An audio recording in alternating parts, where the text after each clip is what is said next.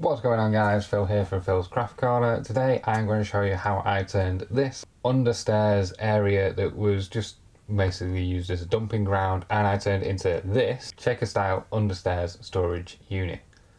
If you've come here from the Facebook DIY pages or the Reddit DIY pages, welcome to my channel. Thank you for following along over the past few days of this build and thank you for all your amazing comments. You've really made me quite proud, even more proud of the work that I've done. It was it turned out great.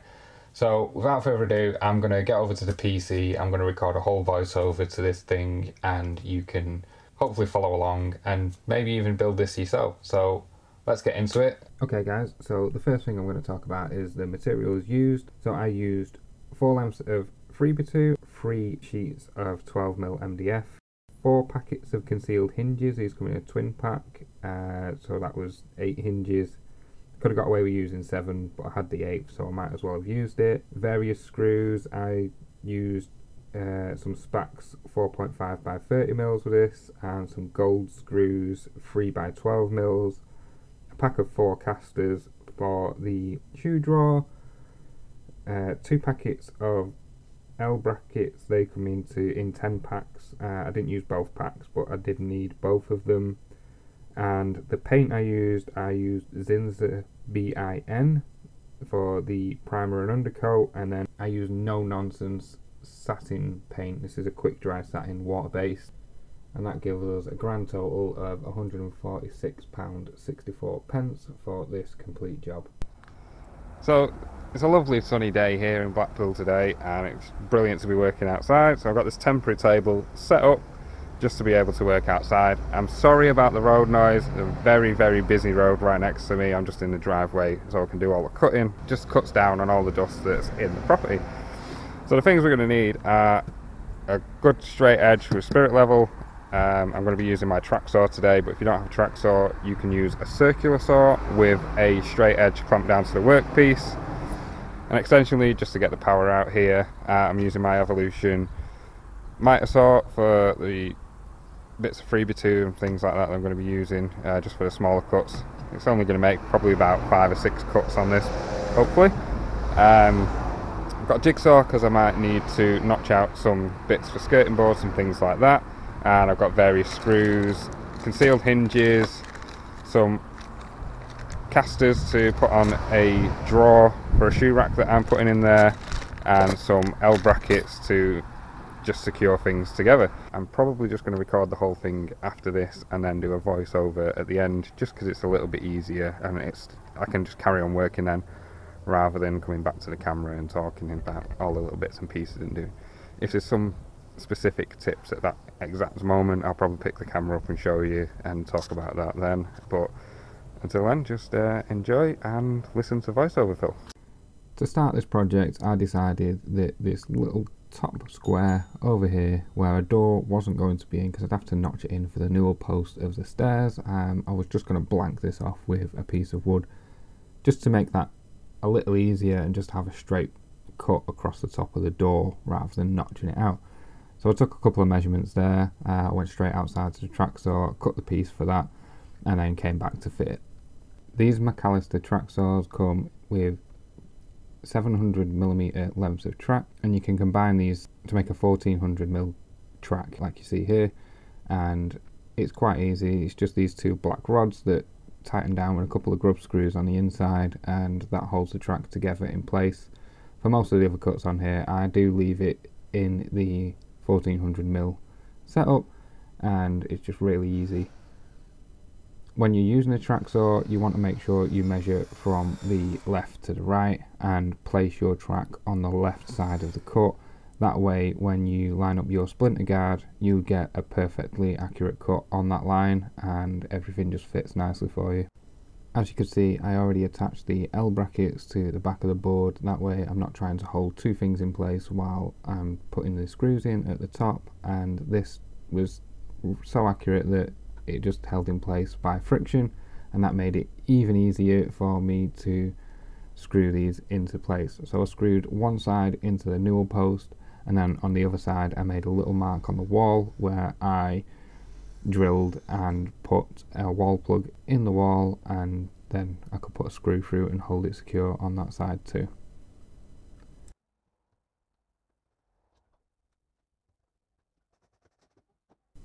So the next step was to start building the supports for the inside false walls and to do that I used a straight edge leaning next to the 3x2 and I just marked the slope of the staircase onto the 3x2 and went and cut it down on the miter saw.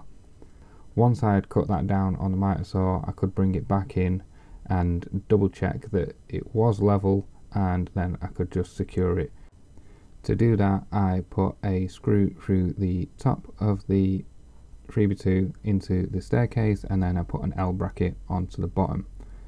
One thing you need to be aware of when you are positioning this is you need to position it far enough back so that, so that the thickness of your door is going to be level with the staircase. In my case it was two 12 mils so it needed to be 24 mil back from the edge of the staircase so that when the doors closed against it, it was flush with the staircase as much as possible. To position the back support, I measured both lengths from the back wall, not including the skirting board, I measured from the wall itself backwards and then again I measured the same further back at the back of the unit and that gave me the position I needed to measure up for the next length and cut that to size with the angle. I also had to take into account the water pipe that runs across the back of the staircase and what I did to account for that is I cut the 3x2 shorter and I just mounted it to the wall instead of mounting it to the floor. What I'm showing you here is how high I had to secure this to the wall just to be sure that I was nowhere near those gas pipes because that gas pipe goes back and into the wall with those bits secure I could put the first faceplate on and I needed to notch out these little grooves that were at the top of the stairs just so that this could fit flush with the top of the stairs as much as possible.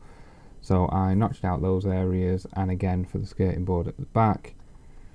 Further add to the issues I was having obviously the wall at the back isn't completely square so I lined the board up on that wall so it was flat on the wall and then I just marked up the front of this 3x2 so then I could just cut along that mark with my track saw.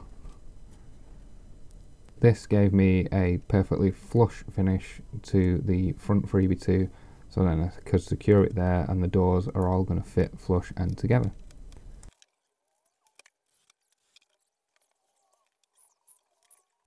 The next piece I wanted to put in was the false panel for the dooring. Uh, that was slightly bigger than the actual door itself, so I lined this up roughly to where I wanted it to be and then again I just marked up on the inside where I needed to cut with my track saw. I took it out there, cut right along that line and then I brought it back in to fit it into place and once it's in place you want to have a gap on the right hand side on the 3x2 overhanging.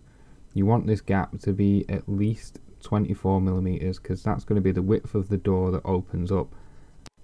Again I just secured these in place using my SPAX screws and just straight through the MDF the reason I'm using these SPAX screws is because you don't need to pilot them. They're a, they're a self-piloting bit and they have a cutting countersink so they cut into the MDF themselves as well so you don't need to mess with the countersink.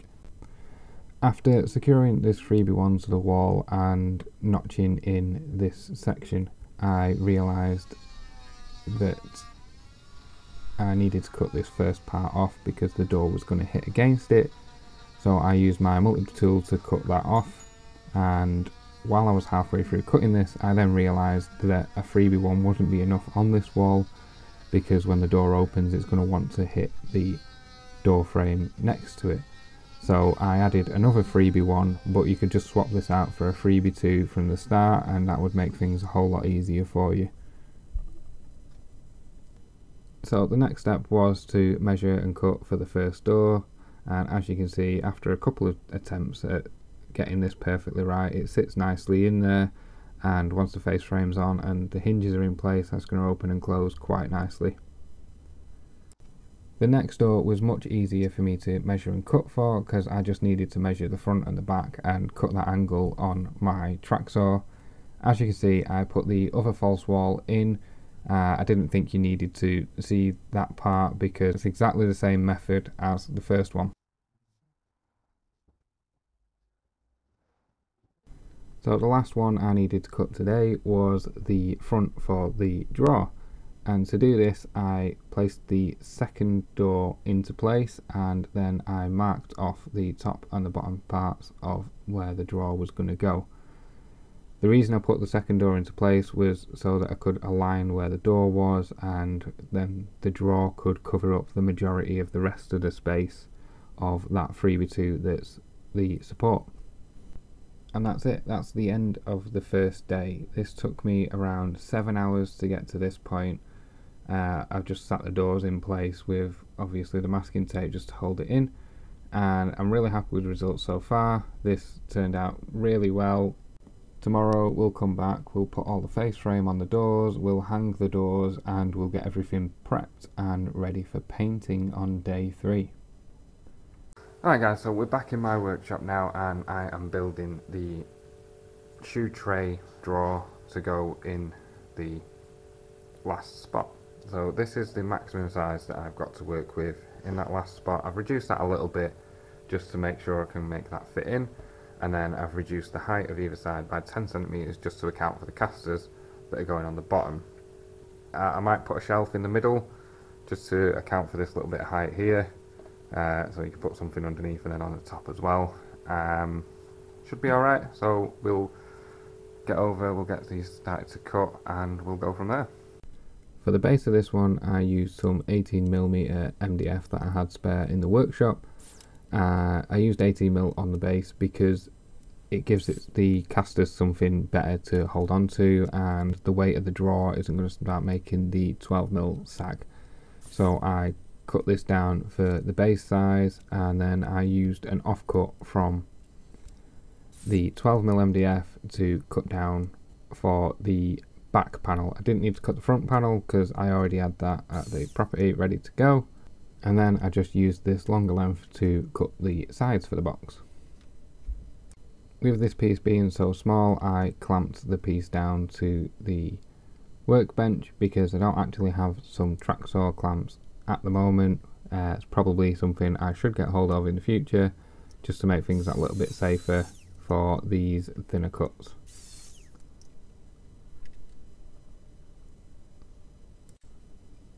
After doing a quick test assembly I was quite happy with the results and I could get myself ready to do the full assembly. To assemble this I just used glue and brad nails to put everything together and hold it in place while the glue dried. I then marked 20 centimeters up from the base in the corners and along the back for the shelf and I used some scrap pieces that I had lying around to cut out this shelf.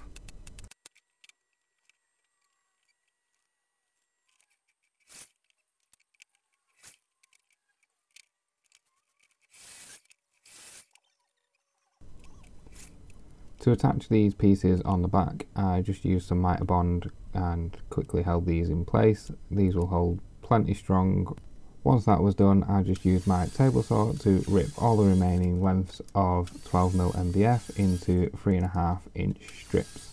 So we're back at the property and the first thing I did today was I put the wheels on the drawer. I measured 2 inches in from the sides and the top and the bottom so it was quite square and I just screwed them in with the 12mm screws that I had to attach the drawer front, what I did was I put my screw box in the back just to make sure the drawer stuck out at the front a little bit. I then put mitre bond across the front part of the drawer. I put my 3mm spacers on the floor and then I offered up the drawer front to there. I lined it up visually at the front just to make sure there's enough space for the left and right and that the drawer would shut and then I sprayed it with the activator to hold it into place. Afterwards I came back with some L brackets on the back just to hold it in place more permanently. So this part was to show you how I make my shaker style doors. And to do that, I used the three and a half inch strips that I cut up at the workshop. I opted to do these shorter lengths first because the longer lengths I didn't have enough to do the full height of the door.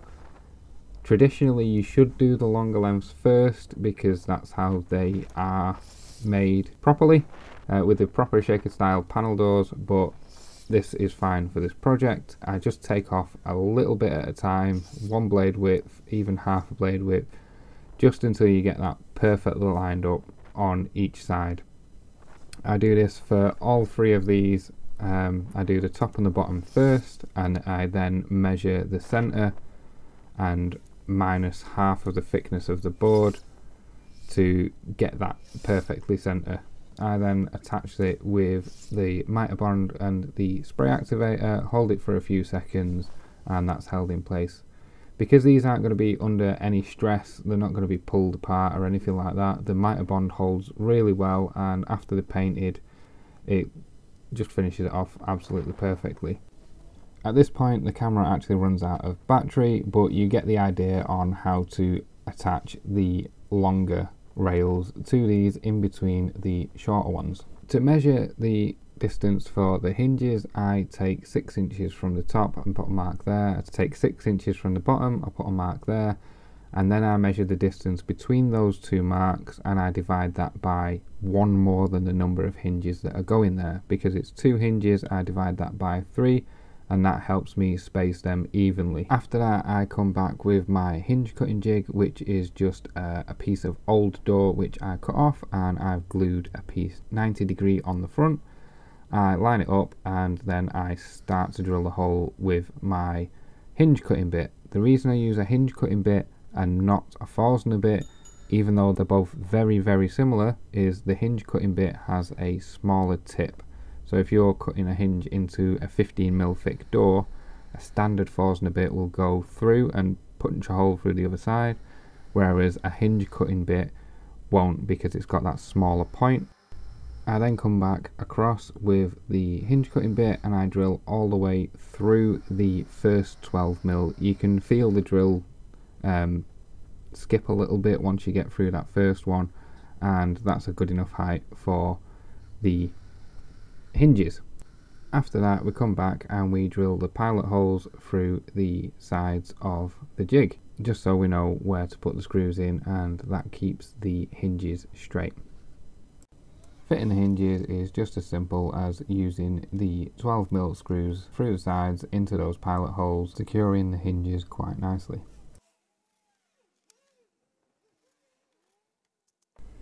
Fitting this door was a little bit difficult because of the angle at the top and because I didn't leave the 24mm space at the side. I left a 15mm space just in my head going off a standard cupboard size and that was a mistake that I ended up paying for here.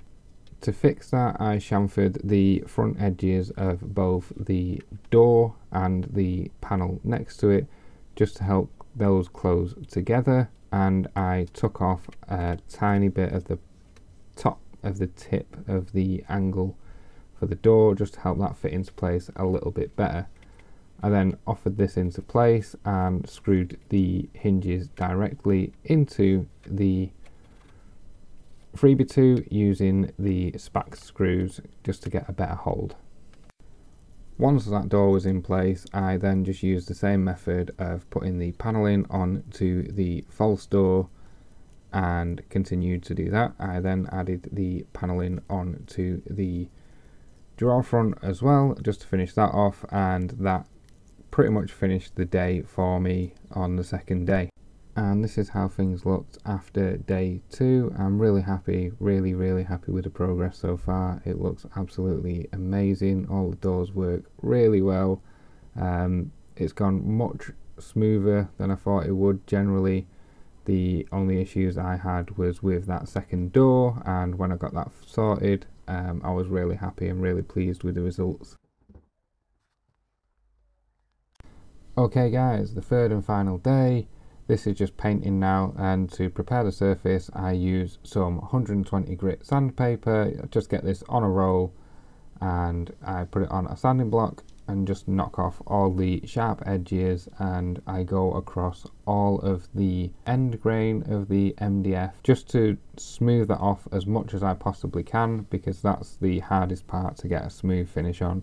It just soaks in the paint and the fibres come back out so you sand it down before painting, you give it a quick sand after the first coat and then it should be perfect for the second and third coat after that. Once you're done with the sanding, just come back with a nice soft brush and brush off all of the corners and the end grain just to get all the sawdust out because you don't want any of that getting into your paint. You want it to be as clean as possible.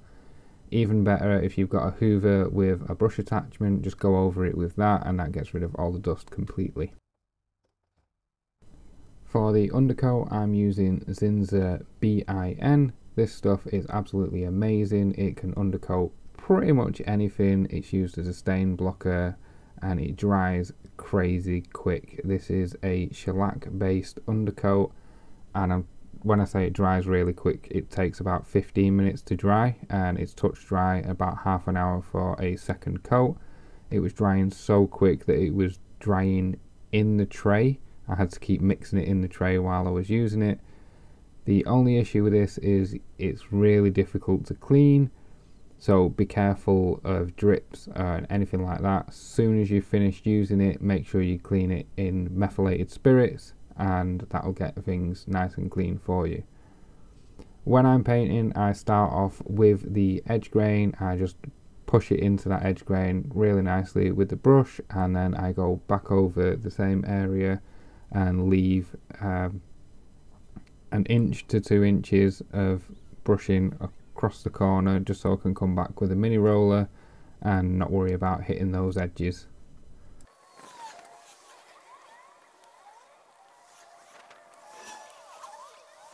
So unfortunately the footage from me masking off the inside and painting the inside corrupted and I completely lost it. The top coat for this I am using Screwfix's non-nonsense quick dry satin paint. This stuff actually covers really, really well and it takes about half an hour to dry. Because it's a quick dry, it is water based, which also means it doesn't yellow over time. So just make sure that the undercoat is completely dry. I went for my lunch and I left this about 45 minutes. Like I say, you can under you can recoat within half an hour of this stuff especially being outside, it dries super, super quick. The top coat, I took two coats of the top coat as well. And like I say, it covers really, really well. And two coats was plenty to get a good coverage of all of the surfaces. After all the painting had been finished, I needed to fit these push to open bumpers and to fit these they were actually quite simple I unscrew this all the way to see the maximum width and then I screw it halfway back in so then I've got adjustable front to back then you just simply line up the back of the bumper so where it'd be all the way in to the outer surface of where the cupboard is going to close against. Now you need to have 2 to 3 mil more overhang which is why I adjust this to halfway which is, it gives you 3 mil each way then because you need to be able to push this in before it pops back out again so when you do fit these your doors do pop out a little tiny bit uh, when they are closed. They don't sit flush. So if you want your doors to sit flush, then you can't use these push to open connections because you actually need to push them in for it to be able to pop back out again. And as you can see, I actually fitted this before I did the final coats of paint on the two doors that open. I did the final coats on the insides so that I could paint the fronts of them while they're in place and it just saves me worrying them about being outside and maybe it raining, it's helpful to have them painted inside. And there we go, after three long days of hard work, I think it turned out absolutely amazing. What do you guys think? Do you want to try this project on your own? If you do, let me know down below. If you found anything helpful in this video, please give it a thumbs up. Please consider subscribing to follow along for more projects like this in the future. Thank you for watching. Thank you for sticking around for so long. I know it's been a long video, but hopefully this end result was worth it.